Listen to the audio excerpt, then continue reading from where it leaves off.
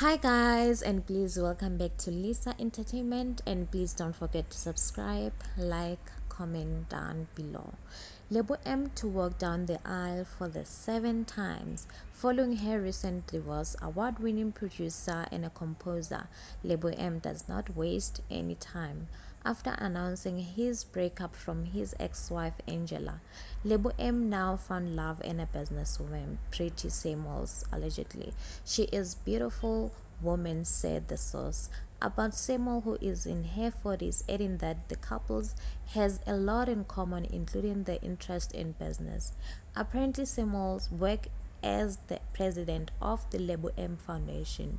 She is a smart and has a beautiful personality, said the source. She is currently focusing on youth empowerment programs that will be implemented and shared with the media in due course. Baraka Sesotho, Ngwana Saleng Oshola Taring. Thanks guys for watching and see you guys on my next video.